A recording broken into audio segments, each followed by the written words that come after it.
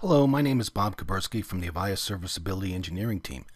This video covers how to enable and disable SNMP trap notifications on Avaya one-X Client Enablement Services. To begin, access the system as an administrator and navigate to the System tab. Then select SNMP traps on the left side of the screen. A list of all the SNMP traps supported on the Avaya one-X Client Enablement Services system will open. As you can see, this is a very large list, and it includes the trap name and a brief description of its purpose. There is also a checkbox associated with each trap, and we'll go through the details on it in a moment. If you look closely at the trap names, you will see they are all categorized into groups and are associated with specific functionality of the system. For example, there are some associated with licensing and others associated with the scheduler.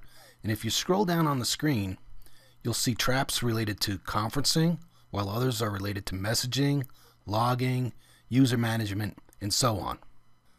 While in the process of monitoring the traps from the Avaya one-X Client Enablement Services system, you find a need to filter or disable the generation of some specific traps, you're able to do it using this list.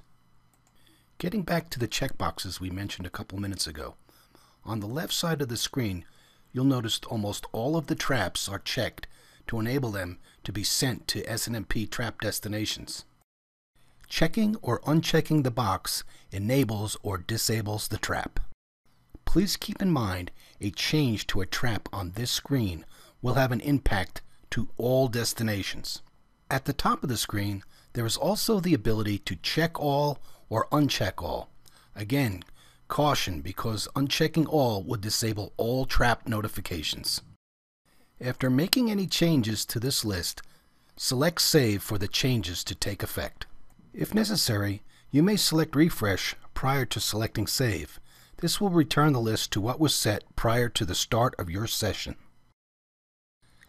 Thank you for your time today. We hope this information is useful.